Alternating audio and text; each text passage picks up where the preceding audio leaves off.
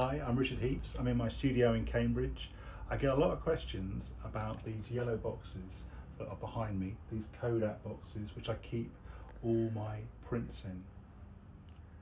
So today I'm going to show you what's in the box. What's in the box? It's the top box. It's the prettiest box. Lots of hues in it. Clearly Richard's box, Richard Heeps. Look at the yellow, yellow, copied from Kodak. Kodak. okay, so what is in the box? Well, the box is from New Jersey, 2013. Okay, so New Jersey, I used to have like cousins from America, and they lived in New Jersey and they'd come over here and do like coach trips and they were like fascinated in the UK and they'd go to castles. And I had an equal interest of where they came from. So they came from New, New Jersey. So we went off to, to New Jersey. And this is where I went. This is like the town of Wildwood. So there's some nice signage. Well, signage but no without signs and then we have real signs, bathroom signs from the 1950s, men and ladies. New Jersey's a, a doo-wop, the original doo-wop. Oh, I should town, say, yeah, yeah. So Wildwood is like a yeah doo-wop town.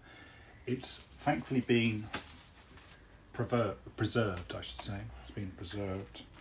It's got a it's got a great feel. I mean, I like I like photographing the east coast of uh, of Great Britain. I like photographing the whole coast of Great Britain actually, but particularly the east coast is my nearest uh, seaside resorts.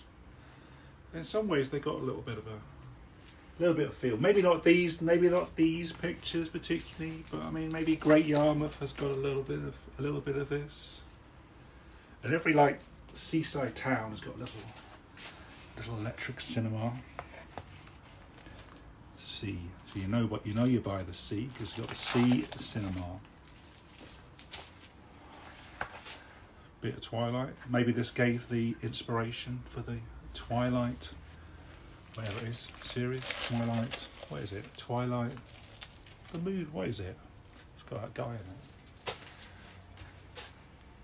Or Twilight. We're living in the twilight.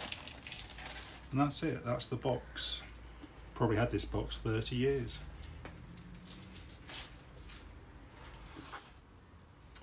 So all these prints have been made in the darkroom. So they were taken on on film, and then the, the, the film was processed. We made a, ne a negative.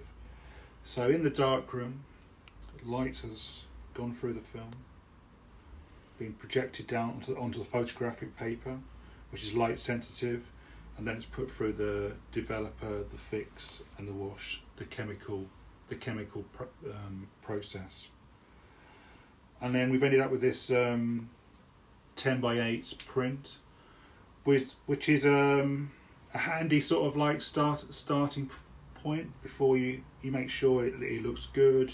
I live with it for a bit before I commit myself to a to a larger a larger print. I can also like scan it nice and easily so I can get it out on the web so everyone can everyone can see it. And you run your own darkroom? I run my own darkroom. I'm very lucky. I've had my own darkroom now I think for for 20 for 20 for 20 years so it allows me to yeah make my own prints. I'm in control of everything. I can make as many prints as I want to to make quite um, cost effectively. But I think the main thing is I, I can make the prints to look exactly how I want them to be and get the best out of them. So I thought I'd show you the final result. So this is when it's been put into the into a mount.